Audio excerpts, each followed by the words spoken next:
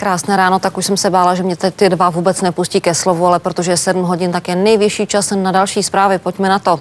Jen pár minut po půlnoci vyjížděli hasiči k požáru bytu v panelovém domě na jednom ze sídliště v Jirkově na Chomutovsku. Následky jsou bohužel tragické. Neštěstí si vyžádalo jeden lidský život.